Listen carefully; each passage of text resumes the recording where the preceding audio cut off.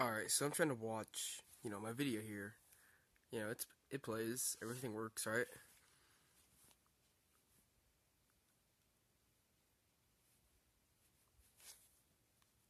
Nothing. No way to get out of it. Except to completely X out of it. Then go back. Oh crap, it's Instagram. Then go back into YouTube. Still doesn't do it.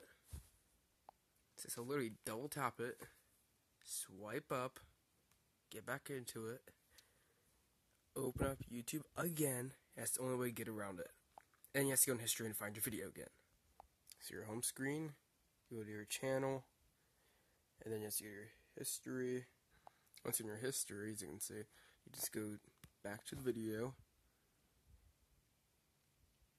and then you lose your spot. This is one reason I don't like Apple. Another is how laggy that is. You can get just so you know to get a nice kind of clean feel, but I mean look at this. It's terrible.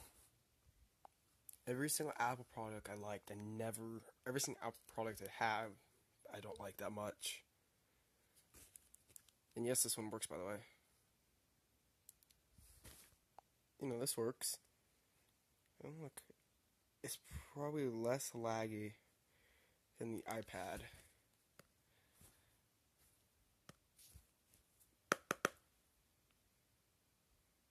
Maybe maybe a little bit more, maybe a little less. It's not much different though.